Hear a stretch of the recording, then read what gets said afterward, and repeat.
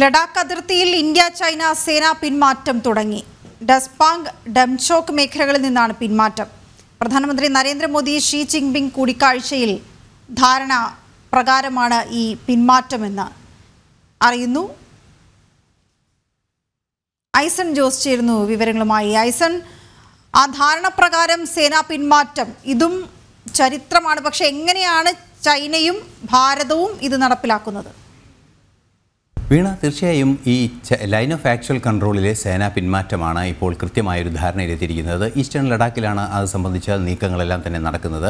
അതിന്റെ ഭാഗമായി ഈസ്റ്റേൺ ലഡാക്കിന്റെ ഈ രണ്ട് മേഖലകളിൽ അതായത് ഡെസ്പാങ് ടെങ്ചോക്ക് എന്നീ പറയുന്ന രണ്ട് മേഖലകളിൽ നിന്നുള്ള സൈന്യത്തിന്റെ പിൻവലിക്കുന്നതിനുള്ളൊരു ധാരണയാണ് പ്രാഥമികമായി ഇപ്പോൾ നടപ്പായിക്കൊണ്ടിരിക്കുന്നത് എന്നാണ് അറിയാൻ സാധിക്കുന്നത്. ഇതിന്റെ ഭാഗമായി ആ സൈനിക പോസ്റ്റുകളിൽ അതായത് ലൈൻ ഓഫ് ആക്ച്വൽ കൺട്രോളിന്റെ ആ കൃത്യമായ രേഖയ്ക്ക് അടുത്ത് തന്നെ ഉണ്ടായിരുന്ന സൈനിക സംവിധാനങ്ങളെല്ലാം തന്നെ ബഫർ സോണിന് ഇപ്പുറത്തേക്ക് മാറുന്ന നീക്കങ്ങളാണ് നടന്നുകൊണ്ടിരിക്കുന്നത്. നമുക്ക് ലഭ്യമാകുന്ന വിവരങ്ങളനുസരിച്ച് ആദ്യ അഞ്ച് കിലോമീറ്ററിലുള്ള സേനാ സംവിധാനങ്ങളെല്ലാം തന്നെ ഇപ്പോൾ പിൻവലിഞ്ഞുകൊണ്ടിരിക്കുന്നു എന്നാണ് അറിയാൻ സാധിക്കുന്നത്. സേനയുടെ ഔട്ട് പോസ്റ്റുകളും അതുപോലെ തന്നെ സ്ഥിരം സംവിധാനങ്ങൾ ആയുധ സംവിധാനങ്ങളെല്ലാം തന്നെ അവിടെ നിന്ന് പിന്മാറിക്കൊണ്ടിരിക്കുന്നു. അത് പിന്നോട്ട് പോരുന്നു എന്നാണ് അറിയാൻ സാധിക്കുന്നത്. എന്നാൽ അത് പൂർണമായിട്ടില്ല. ഭാഗികമായി മാത്രമാണ് ഈ സേനാ പിന്മാറ്റം നടന്നുകൊണ്ടിരിക്കുന്നത്. അത് ഓരോ ഘട്ടം ഘട്ടമായി നടക്കുക എന്നതാണ് നിലവിലെ സാഹചര്യത്തിൽ നമുക്ക് ലഭ്യമാകുന്ന വിവരങ്ങളനുസരിച്ച് മനസ്സിലാക്കാൻ സാധിക്കുന്നത്. വലിയൊരു സംവിധാനത്തെ കൃത്യമായി പിൻവലിക്കുക എന്നുള്ളത് ഉടൻ നടക്കുന്ന അല്ലെങ്കിൽ എളുപ്പം നടക്കുന്ന ഒരു കാര്യങ്ങളല്ല എന്നതുകൊണ്ട് തന്നെ ആ സേനാ പിന്മാറ്റം പുരോഗമിക്കുന്നു എന്ന വിവരങ്ങളാണ് ഇപ്പോൾ നമുക്ക് ലഭ്യമാകുന്നത്. ഇന്നലെ അർദ്ധരാത്രിക്ക് മുൻപ്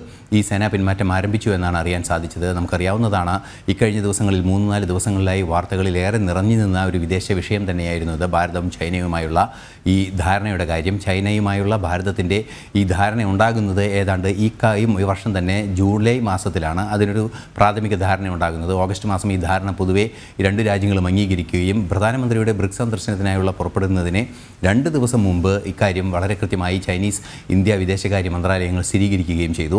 തുടർന്ന് ആണ് ഈ സേനാ പിന്മാറ്റത്തിനുള്ള ധാരണയായത്.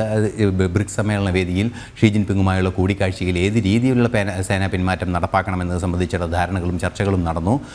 അതിർത്തിയിൽ സമാധാനം ഉറപ്പാക്കുക എന്നതാണ് തങ്ങളുടെ ലക്ഷ്യമെന്ന് വളരെ കൃത്യമായി പ്രധാനമന്ത്രി പറയുകയും ചെയ്തിരുന്നു. ഈ സൗഹൃദ കൂടിക്കാഴ്ചയിലും തുടർച്ച കൂടിക്കാഴ്ചകളിലെല്ലാം തന്നെ.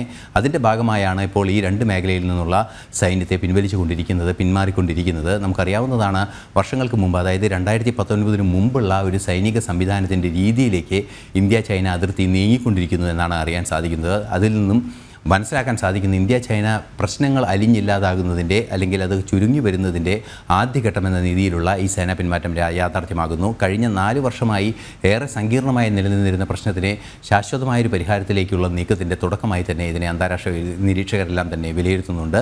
നിലവിലെ സാഹചര്യത്തിൽ സേനാ പിന്മാറ്റം പുരോഗമിച്ചു കൊണ്ടിരിക്കുന്നു.